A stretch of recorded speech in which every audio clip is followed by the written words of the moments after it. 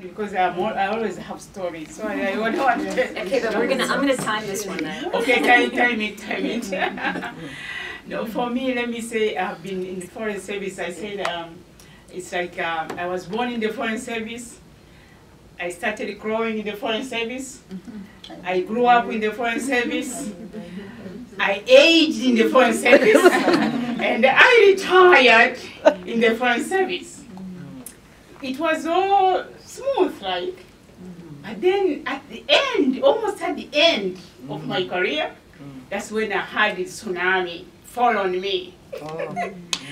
This was, uh, I think you- everybody's experiencing what Donald Trump is doing mm-hmm. with uh, his team.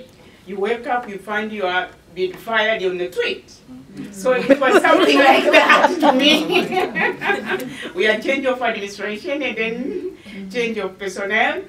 And then nobody told me it was uh, on New Year's Eve.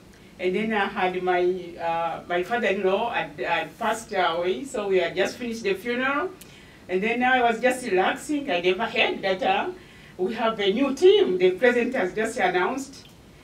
So if you are not announced, then then you know. so then I was in that grief, and then my husband, after the funeral, left, went to Nairobi, and then while he was in Nairobi, that's when he heard the new team being announced, and I'm not here among them. And then uh, he sends a message to say, have you heard about this? I said, what? He said, you have no job. On New Year's Eve. And you're here now. and here I am. So that's, thank you. Oh, wow. Hey, Janella.